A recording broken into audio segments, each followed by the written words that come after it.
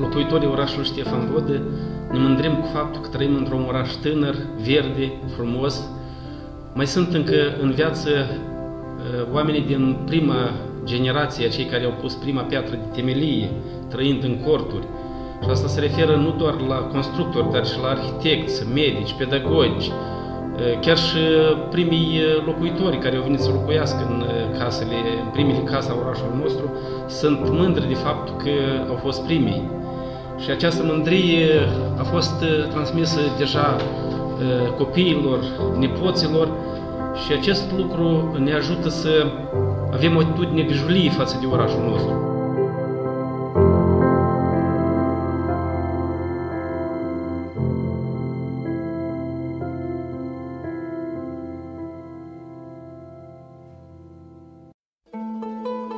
Actualmente, când mulți tineri temporari sau pentru totdeauna pleacă în țările străine, problema ce ține de legătura oamenilor din zilele noastre cu străbunii din trecutul îndepărtat apare ca o temă printre cele mai acute și inepuizabile, pusă de însăși viața. Vom încerca deci să vă aducem la cunoștință mărturii cunoscute și mai puțin cunoscute până acum, privind istoria orașului Ștefan Vodă, denumirea incipientă a căruia este Câzâl. Pe parcursul celor 131 de ani ce s-au perindat de la prima mențiune documentară în anul 1884 și până în zilele noastre, așezarea vizată a trecut prin mai multe transfigurări privind denumirea, statul administrativ teritorial, originea, numărul populației și modul ei de viață, circumstanțe socioeconomice, învățământul, activitatea instituțiilor culturale și medico-sanitare.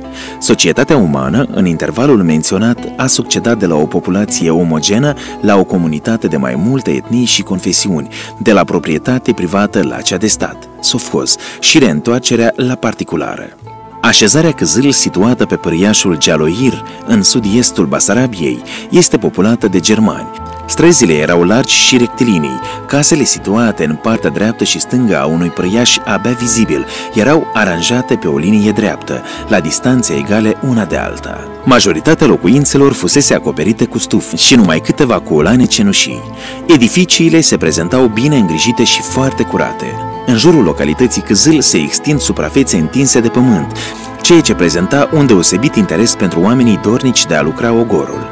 Așezându-se cu traiul în sudul Basarabiei, coloniștii germani se bucurau și de anumite privilegii, scutirea de orice impozite și prestații timp de 10 ani, acordarea unui împrumut de 270 de ruble pe 10 ani, ajutor bănesc câte 5 copeici pe zi pentru hrana unui colonist până la prima recoltă, scutirea de orice serviciu militar, li se acorda de plină libertate a cultului. La momentul înființării coloniei germane Căzâl în 1909, această așezare număra 19 gospodării, stăpânite de 57 de locuitori. Chiar pe atunci coloniștii germani utilizau unelte mașini moderne. Vom specifica că în Căzâl, chiar în primul an de la așezarea germanilor, a început a activa o școală primară de o clasă, frecventată de 50 de elevi. Datele statistice oficiale denotă că în satul Căzâl, din cele 188 de persoane de la 7 ani în sus, 178 fusese știutoare de carte, ce constituie 94,6% din totalul populației ce frecventa școala. Potrivit datelor de recensământ vizat, nici un sat din împrejurimi nu cunoaște un indice atât de înalt ce reflectă ponderea știutorilor de carte. De menționat că nu numai moldovenii, ci și reprezentanții altor etnii din localitățile învecinate cu colonia România Căzâl au împrumutat de la germani multe modalități avantajoase, munca cu ardoare și pricepere, utilizarea tehnicii de agricultură, aranjarea locuințelor la distanțe egale una de alta, formând străzi rectilinii ca la orașe, curățenia în casă și în prejurul ei. O muncă rodnică privind educația tineretului în spiritul patriotismului și dragoste de muncă depune Organizația Veteranilor de Război și a Muncii din Raion, fondată în anul 1987. Una din problemele esențiale de care este preocupată umanitatea se referă la sănătatea omului. Astfel, rețeaua de asistență medicală este asigurată de Spitalul Raional. Centrul de sănătate, stația medicală de urgență și, nu în ultimul rând, instituțiile farmaceutice. Complexul de exerciții fizice și jocuri practice în mod metodic susține sănătatea și dezvoltă corpul omului. Iată de ce nu poate lipsi o școală sportivă și un stadion orășenesc pentru oamenii activi. Cât despre locurile destinate aprovizionării populației cu produsele alimentare benefice sănătății, acestea se pot efectua la piața comercială centrală, precum și la piața agroalimentară. La fel de important este și modul în care populația de la mic la mare își petrece timpul liber. Astfel au posibilitatea de a alege unde să-și alinte papilele gustative, în unul din restaurantele și cafenelele din oraș, spre exemplu, restaurantele Casa Sărbătorii, Mărțișor, Sud-Est, Europa, Vila Marina, Cafe Bar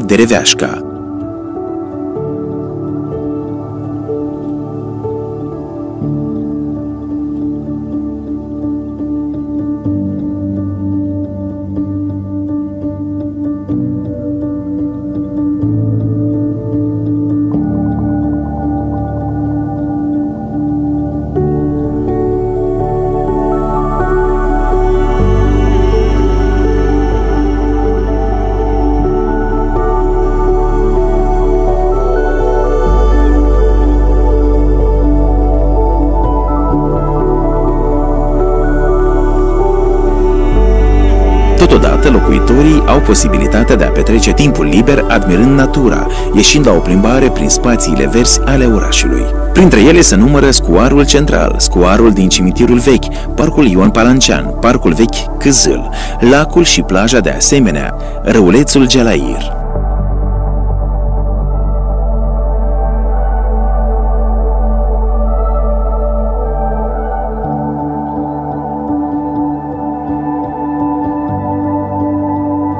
Nu am putea trece cu vederea și să nu vorbim despre comportamentul ce reflectă mediul natural al raionului.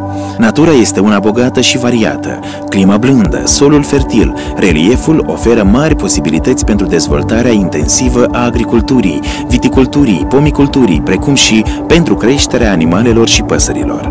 Într-adevăr, natura a înzestrat această palmă de pământ cu renumite rezervații peisagistice, naturale, istorice, valoroase monumente geologice și arheologice. Din rândul lor fac parte grădina turcească, starița râului Nistru Orb, una din cele mai mari mlaștini din Republică, Râpa de Piatră, în partea de nord a satului Tudora, Râpa lui Albu, mai sus de satul Ciuburciu, Râpa din Purcari, tot în această zonă se află peste 40 de păduri. Mândria raionului sunt cele șapte vinării care au dus faima vinificatorilor locali departe de hotarele țării. Bună oară, la Purcari există fabrica de vin care produce renumitele vinuri de marca Negru de Purcari, Roșu de Purcari, Merlot.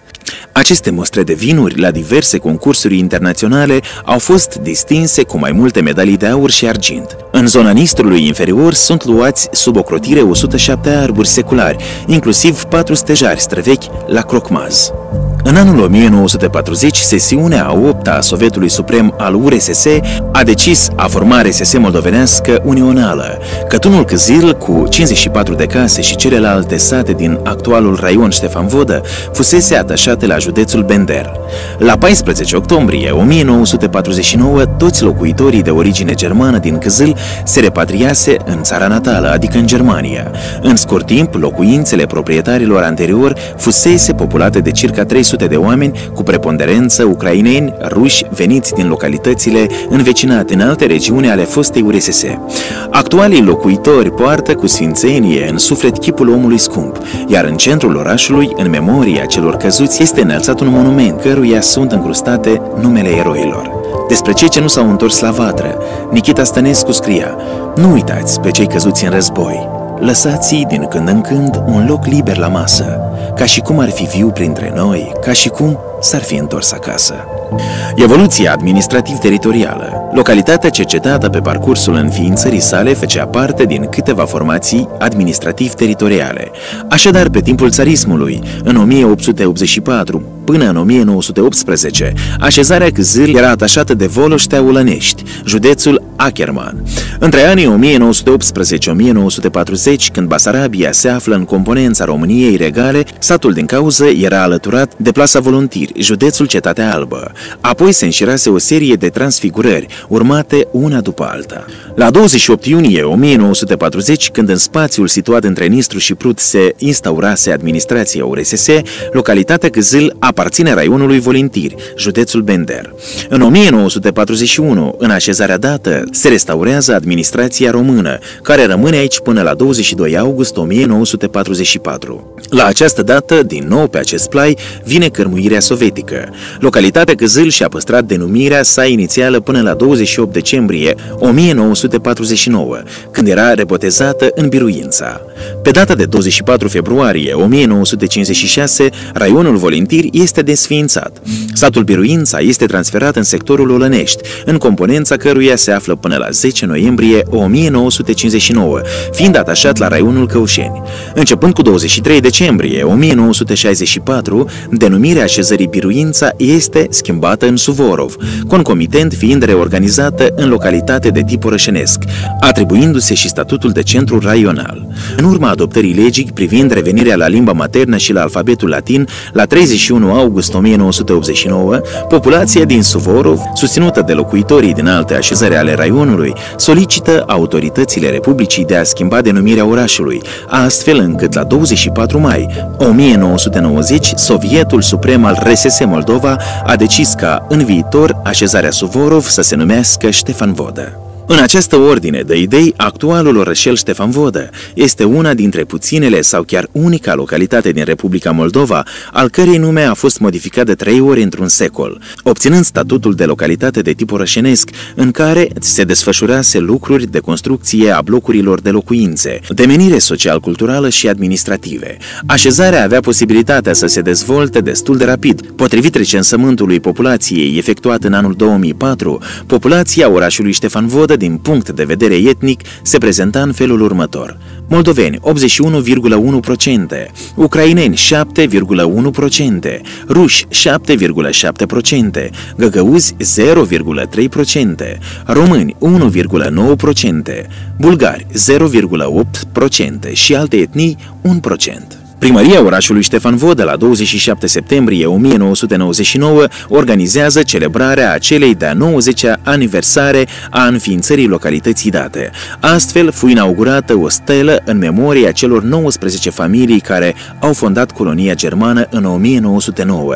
Anume prin această acțiune de a ridica un monument în memoria familiilor care au fondat localitatea, primăria orașului Ștefan Vodă se plasează pe primul loc în Republica Moldova primăria depune eforturi adecvate privind amenajarea și salubrizarea localității. Orașul, în 1999, cu o populație de peste 11.000 de locuitori, deține un sistem de străzi cu îmbrăcăminte rutieră modernă. Drept exemplu ar fi piața publică, strada Libertății, cu edificii administrative, blocuri locative ce sunt alimentate cu căldură de la 5 cazangerii. Activitatea administrației publice locale a fost apreciată de conducerea țării. Astfel, în decembrie 2000, prin hotărârea Guvernului Republicii Moldova, orașul Ștefan Vodă a fost considerat ca cel mai bine amenajat și salubrizat fiind premiat cu 30.000 de lei. Munca primăriei în ceea ce privește amenajarea și salubrizarea orașului luase amploare după 25 mai 2003, când primarul urbei devenise Gheorghe Angel, inițiind elaborarea planului strategic de dezvoltare social-economică după modelul savantului american John Bryson. Mândria primăriei Ștefan Vodă pentru anul 2007 rămâne a fi aprovizionarea cu apă potabilă a locuitorilor urbei.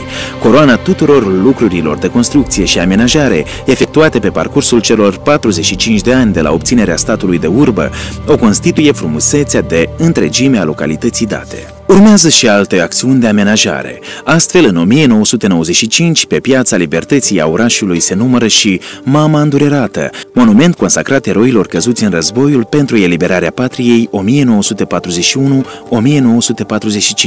monumentul eroilor căzuți în războiul din Afganistan, monumentul lui Suvorov, placa comemorativă consacrată foștilor coloniști germani și cea consacrată domnului Ion Palancian, etc.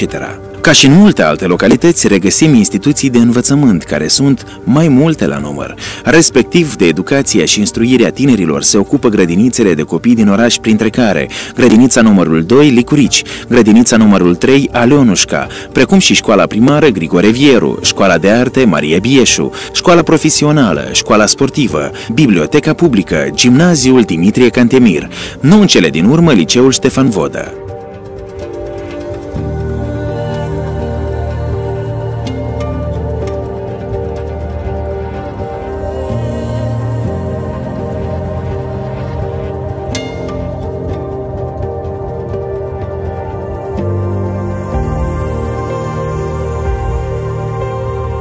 Astfel, mulți din absolvenții liceului teoretic Ștefan Vodă au devenit personalități remarcabile, fapt ce denotă profesionalismul învățătorilor a acestei instituții. Din rândul personalităților fac parte Vasile Ciorici, medic-oncolog, Angela Ciumac, doctor în filozofie, Viorica Tighineanu, doctor în chimie, Pavel Moraru, doctor în istorie, Maria Ungureanu, compozitor, profesoară la Conservatorul din Paris, Rafael Ciloci, profesor la Universitatea Tehnică din Chișinău, Silvia Ciloci, profesoară la Universitatea din București, etc.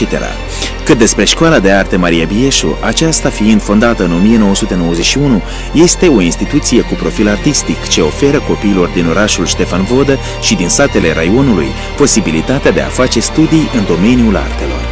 Direcția instituției încurajează copiii să participe nu numai la activități interșcolare, ci și de nivel orășenesc, raional, republican și internațional. Pentru activitatea de creație și înaltă maestrie interpretativ-artistică, corul școlii a fost menționat de multiple ori la concursul regional ca deținător al premiilor mari Grand Prix. Lucrările elevilor din clasele de arte plastice au fost expuse la expoziții internaționale ale tinerilor pictori din China, Federația Rusă, Belorusia. Din punct de vedere confesional, majoritatea populației din orașul Ștefan Vodă este de religie creștină-ortodoxă. Astfel, enoriașii urbei devotați ritului creștin-ortodox sunt convinși că anume activitatea bisericii este îndreptată spre consolidarea societății prin menținerea unității spirituale, respectării reciproce a cetățenilor de diferite etnii. Iată de ce aici găsim mereu deschise ușile bisericilor Sfânta Treime, Sfântul Ioan Botezătorul și Sfântul Ștefan cel Mare.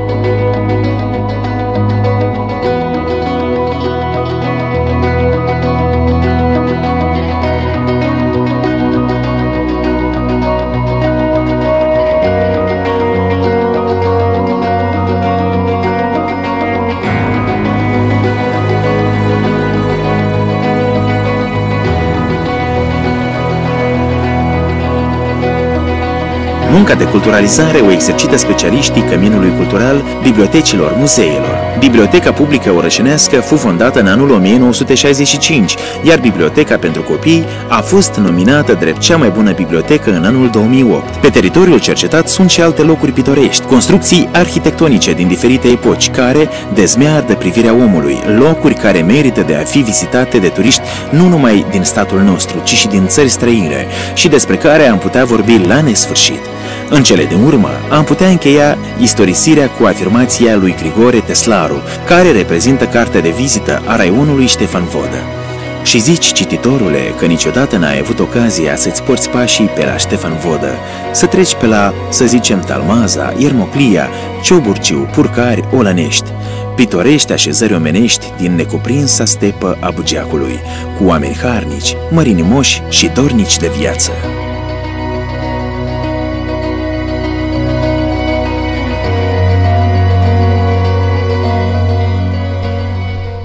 Acest film va rămâne ca un document istoric care fixează orașul Ștefan Vodă în imagini video la vârsta de 50 de ani.